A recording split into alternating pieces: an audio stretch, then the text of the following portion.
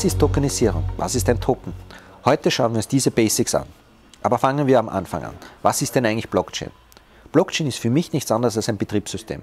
Ein Betriebssystem, das weltweit läuft. Auf diesem Betriebssystem können kleine Programme installiert werden und diese Programme heißen Smart Contracts. Das heißt, ein Smart Contract hat einmal im ersten Schritt nichts mit einem Legal-Vertrag zu tun, sondern es ist ein Computerprogramm, das auf einem Betriebssystem, nämlich der Blockchain, läuft. Das heißt, eine Blockchain ist sowas wie Windows, nur mit dem Unterschied, dass es sofort weltweit läuft.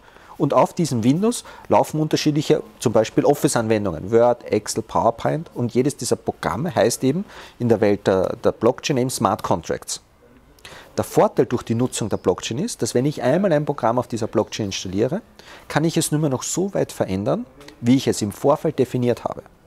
Das bedeutet, dass selbst ich, der es programmiert habe, es nicht mehr verändern kann. Damit kann ich dem Code, also dem Programm vertrauen und auch darauf vertrauen, dass niemand, der die Server betreibt, niemand, der dazwischen mitarbeitet, das Programm in einer Art und Weise manipuliert, das eben nicht so ist, wie es im Vorfeld definiert wurde. Das hat auf der einen Seite natürlich Risiken, jeder weiß, es können Fehler entstehen. Auf der anderen Seite gibt es eben hohe Sicherheit.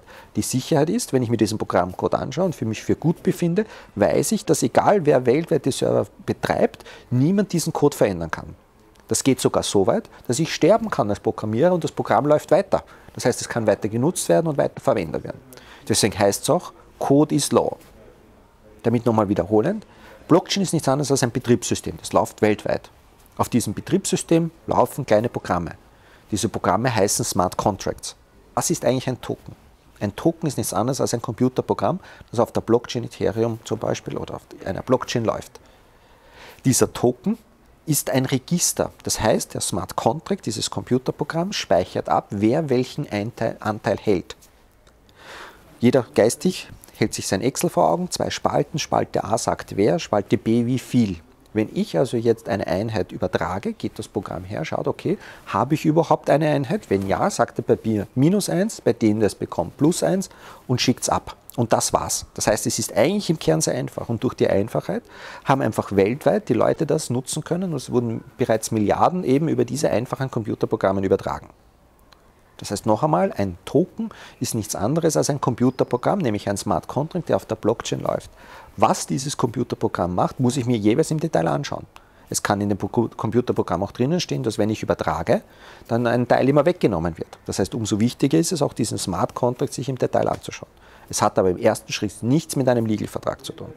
Der Legal-Vertrag, also der rechtliche Vertrag, ist das, was ich dann mit dem Token verbinde. Das heißt, wenn ich jetzt eine Einheit habe, mir sagt mir der rechtliche Vertrag, was denn überhaupt diese Einheit ist. Ist diese Einheit eine Immobilie? Ist diese Einheit ein, ein Wertpapier? Ist diese Einheit ein Gutschein? Also was das ist, ist dann der rechtliche Vertrag, der damit verbunden wird.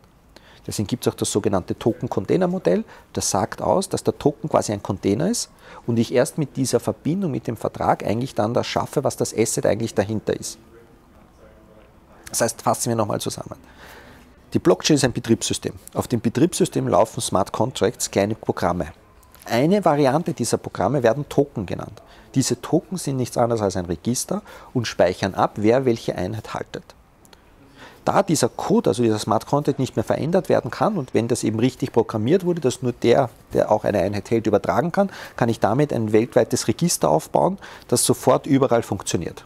Und das sind die Vorteile der Tokenisierung, nämlich dass ich es hochstandardisiert habe, digitalisiert, damit die Kosten reduziert und gleichzeitig durch die Blockchain einen Vertrauenslayer geschaffen habe, der weltweit läuft. Schauen wir uns noch einen zweiten Teil an. Was ist denn eigentlich ein, sag ich mal, ein normaler Token und zum Unterschied zu einem NFT?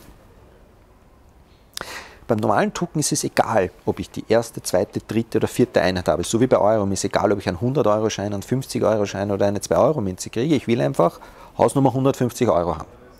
Und wenn ich es übertrage und jemand gebe, ist dem auch egal, ob er jetzt den ersten 100-Euro-Schein, den zweiten 100-Euro oder den dritten 100-Euro-Schein kriegt. Bei einem NFT ist das anders. Beim NFT geht es darum, dass ich nicht irgendeine Token haben will, sondern jeden der Token hat eine eindeutige ID. Ich will den Token Nummer 2, 3, 10, den Token mit der Registriernummer XYZ. Das heißt, ich will einen bestimmten Token haben und auch dieser bestimmte Token wird übertragen. Und damit habe ich nichts anderes als zwei verschiedene Register. Ein Register, wo ich einfach Werte übertrage, also einen Amount, einen Betrag, und auf der anderen Seite, wo ich immer einen eindeutigen Identifier übertrage, nämlich die ID Nummer 1, 2, 3. Und jetzt, was das in der realen Welt darstellt, ist wieder die Frage des rechtlichen Vertrags. Ist jeder ID verbunden mit einem digitalen Bild? Ist jeder ID verbunden mit einem realen Bild, mit einer Immobilie? Auf der anderen Seite ist eben das mit einem Wertpapier verbunden und, und, und. Das ist also der rechtliche Vertrag, der damit verbunden ist. Und das hat dann auch die Auswirkungen regulatorisch, was das alles bedeutet. Damit nochmal ganz kurz auch zu überlegen, was ich dann, wenn ich das selber aufbaue, ich muss mir zuerst überlegen, okay, was ist mein, wer ist meine Zielgruppe, also was haben Sie für eine Erwartungshaltung, was für ein Produkt möchte ich machen und dann im zweiten Schritt stellt sich die Frage, was ich technologisch verwende und in welche Richtung ich hiermit gehe. Ich hoffe, damit habe ich eine gute Einführung geben können. Alle mitnehmen, Blockchain-Betriebssystem, Smart Contract ein Computerprogramm, Token eine Variante eines Smart Contracts, nämlich eines Computerprogramms und was das in der realen Welt ist, hängt vom rechtlichen Vertrag und der Ausgestaltung ab. Ich wünsche viel Spaß bei der Umsetzung der Eigenprodukte und wenn Sie Fragen haben, auf www.simpletokenize.com beziehungsweise gerne uns auch telefonisch kontaktieren.